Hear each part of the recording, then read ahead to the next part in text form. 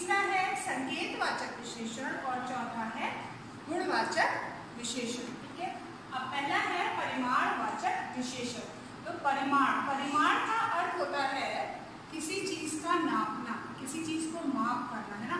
परिमाण क्या जैसे आप मान लीजिए, अगर आप कोई कपड़ा परचेज करते हैं तो उसको आप किसमें नापते हैं? उसको आप इंची टेप से नापते हैं, उसको आप मीटर में नापते हैं, ठीक है?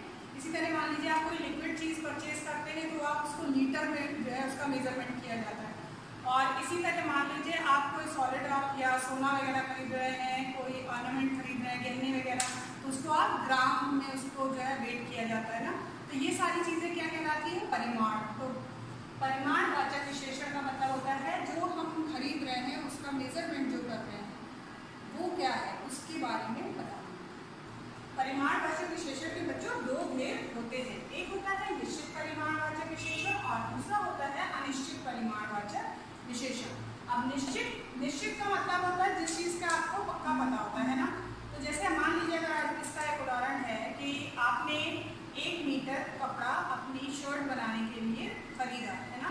तो आपके पास ये पक्का सबूत है। आपने वो कितना खरीदा? एक मीटर कपड़ा, क्योंकि जब आपने उसको परचेज किया था टेलर से तो उसने आपको उसको मेजर करके दिया था। तो यहाँ पे ये हो गया आपका निश्चित परिमाणवाचक का उदाहरण। और दूसरा मान लीजिए आप ये कहते हैं कि हमारे घर में पाँच लीटर पानी की टंकी है तो जो पानी की टंकी जब आप परचेज करते हैं तो उसमें आप भी, उसमें भी लिखा रहता है कि हाँ ये इतने लीटर की टंकी है, इतने लीटर की टंकी तो वहाँ पर हमें पक्का पता होता है कि कितने लीटर पानी की टंकी है। तो जहाँ पर हमें ये पता है कि वो, उसकी क्वांटिटी कितनी है या वो कितने नंबर का कितना सामान है तो वहाँ पर निश्चित परिमाणवाचक विशेषण होता है।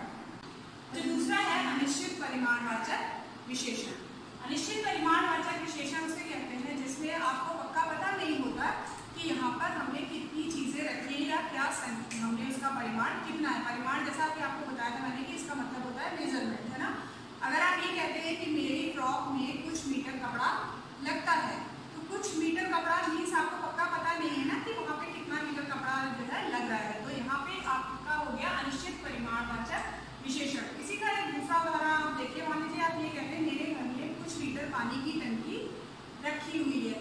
तो यहाँ आपको पता नहीं कि आपके घर में जो पानी की टंकी रखी है, वो कितने लीटर की है? आपको उसके बारे में पक्का पता नहीं है। तो अगर जहाँ आपको पक्का पता नहीं होगा तो वहाँ पर क्या हो? जाता है अनिश्चित परिमाणवाचक विशेषण होता है।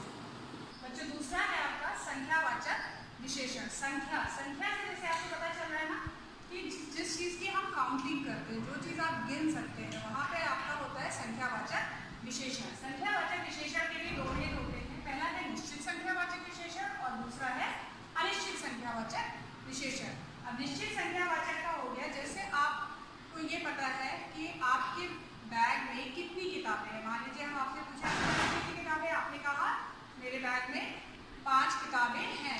पाँच किताबें अगर आप बोल रहे हैं तो इसका मतलब आपको पक्का पता है कि आपके बैग में सिर्फ़ पाँच किताबें हैं। या मान लीजिए मैंने पूछा, आपके पेंसिल बॉक्स में कितनी पेंसिलें हैं या कितने पेन हैं? तो आपने बताया मुझे कि मेरे पास दो पेंसिल है या किसी ने बताया मेरे पास तीन पेन है या एक इरेजर है। तो ये सारी चीज़ें आप देखिए काउंट कर पा रहे काउंट कर पा रहे हैं तो इसका मतलब ये संख्यावाचक विशेषण और आपको पता है कि कितने नंबर है तो कितनी संख्या है तो वो हो जाएगा निश्चित संख्यावाचक विशेषण का उदाहरण। अब इसी तरह है दूसरा अनिश्चित संख्यावाचक विशेषण। अनिश्चित संख्यावाचक विशेषण का मतलब होता है बच्चों जब आपको ये पक्का पता ना हो ना कि यहाँ पर कितना है जैसे अगर हम ये कहें इस कक्षा में कुछ विद्यार्थी बैठे हुए अब कुछ विद्यार्थी बोला तो हमें नहीं पता ना हो सकता है पाँच विद्यार्थी बैठे हो हो सकता है दस हो क्या हो सकता है दो ही विद्यार्थी बैठे हैं। तो यानी कि अगर हमें निश्चित तौर से ये पता नहीं होता कि हम कितने लोग हैं काउंटिंग का हमें करेक्ट अंदाज़ा नहीं होता तो वहाँ पर हमारा हो जाता है अनिश्चित संख्यावाचक विशेषण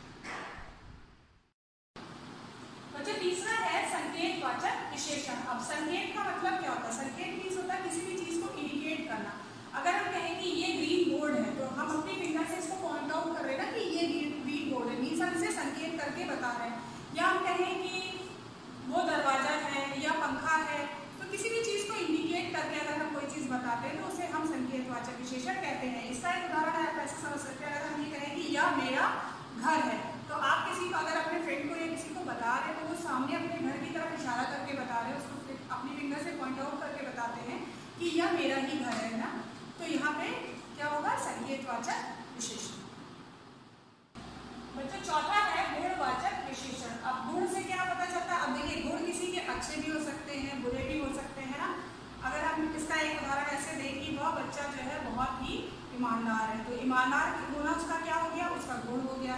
तो क्या सा हो गया? यहाँ पे गुणवाचक विशेषण हो गया। इसी तरह मान लीजिए अगर आप ये कहें कि वो बच्चा बहुत शरारती है।